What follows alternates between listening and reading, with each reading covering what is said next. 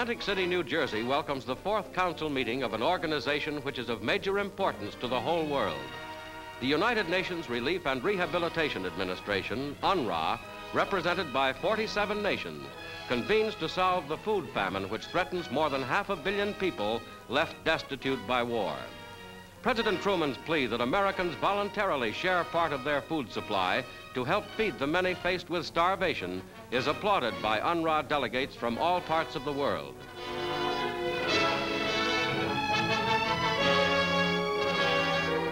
UNRRA's retiring Director General, Herbert H. Lehman, who will be succeeded by former New York Mayor LaGuardia, speaks for brotherhood among nations.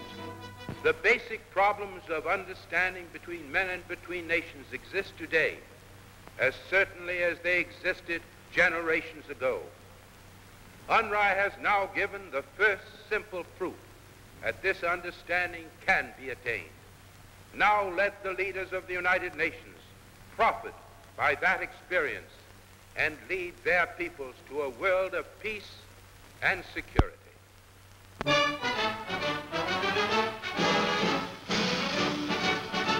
The United States Navy presents first pictures of its peacetime Mars flying boat, world's largest plane. Designed for cargo, it lifts the greatest weight and has the longest range, and is the Navy's successor to its wartime Mars, which supplied the far-flung Pacific outposts. The Marshall Mars is the first of four such giant cargo craft destined for service with the Navy's Air Transport Service. They will all be named for islands wrested from the Japanese. Four huge motors give the ship a top speed of over 200 miles an hour, fast for a seaplane. Her wingspan is 200 feet and her gross weight over 80 tons.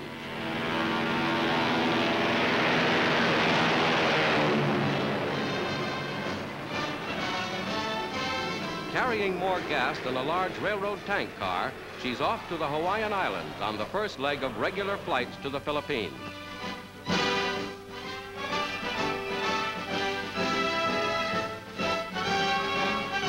Over San Francisco Bay, she gives a farewell salute to the famous Golden Gate Bridge.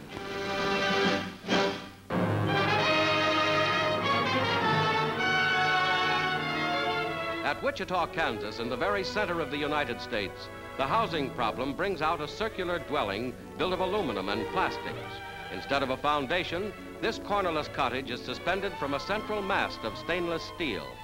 The engineering principle, with the safety factor of a suspension bridge, permits new ideas like a revolving roof, which gives a complete change of air every six minutes. Using a model, the inventor shows how circular design makes the best use of floor space. Using new war-developed lightweight metals and prefabrication of parts by mass production, this home of living room, two bedrooms, two baths, and a kitchen can be economically produced and will contain a compact heating and air conditioning unit.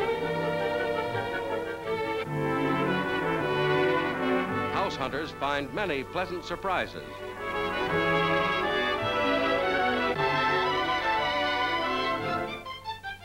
The clothes closet appears with a flick of the finger. And a built-in dust-proof hat rack. But most interesting of all is the conveyor belt linen closet.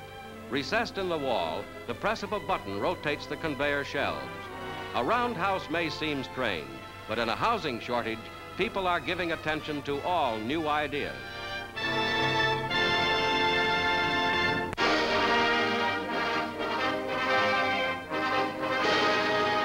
Steaming north, bound for polar seas, the aircraft carrier Midway is on Arctic maneuvers.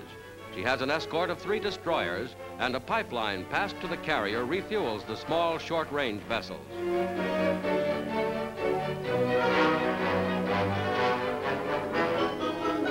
Planes are covered against the cold.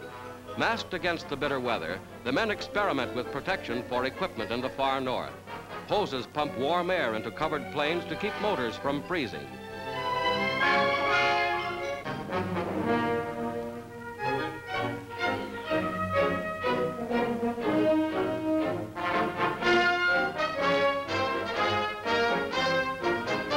Bitter winds whip and lash at the vessel. Frost and snow present a problem, and on deck the sailors test out the latest fashions for Arctic maneuvers.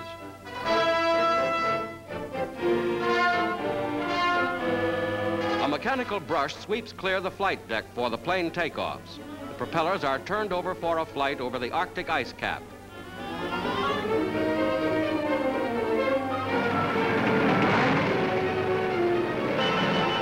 Special cables are attached to the planes which take off with the aid of catapult equipment.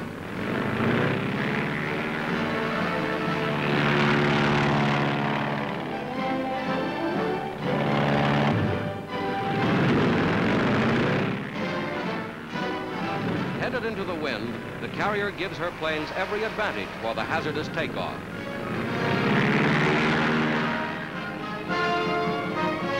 Admiral Cassady, commander of the task force, scans the nearby polar ice pack over which his planes are flying in the first tests of modern carriers against the biting cold of the Arctic.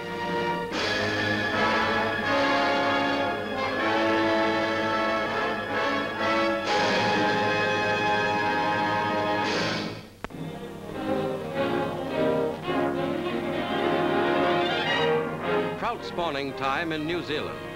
Government laboratory experts come to collect eggs to keep lakes and streams stocked with fish.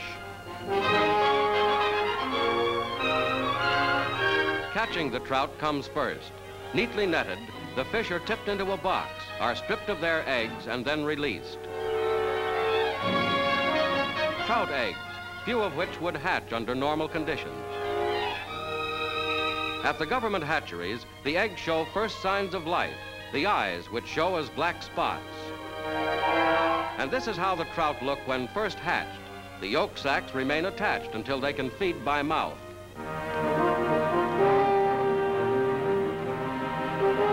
They take final form, each as long as a little finger, ready to start life in a fishing stream or lake to which they go in special cans. And they are poured out by the hundreds. They'll grow up into specimens like these to provide sport and food for the fishermen.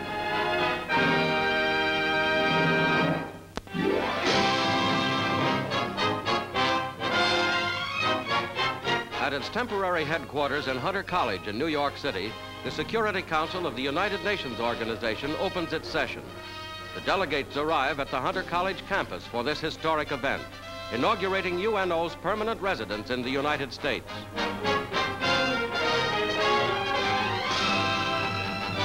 Dr. Kuo Tai Chi of China, Acting Security Council Chairman, and Trygve Lie, Secretary General of UNO.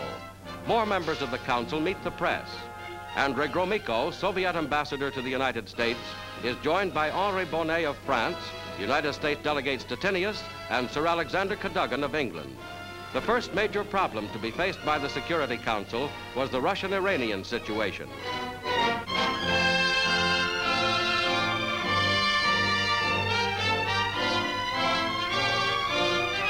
Secretary of State James Byrnes insisted that the Russia-Iran controversy be taken up immediately by the Council. The few spectators from the general public for whom seats are available file in to watch the machinery of international unity begin to function. In the newly decorated chamber, before an audience composed mainly of invited world officials and newsmen, the first session of the Council is recorded by newsreel cameras. The 11 members of the Security Council have as their duty the preservation of world peace.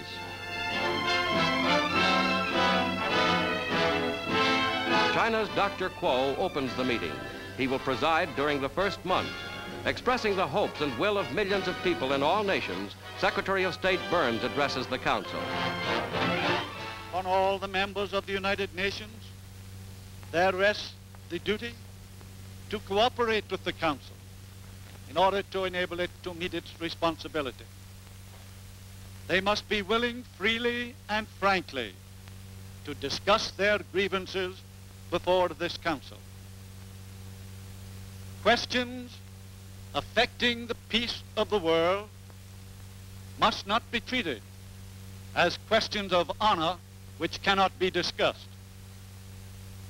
Questions of honor between individuals are no longer left to the ordeal of the duel.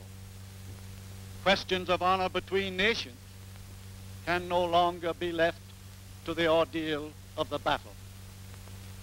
Now, we must live by the charter that is the road to peace. And the road to peace is the road the peoples of the world now want to travel.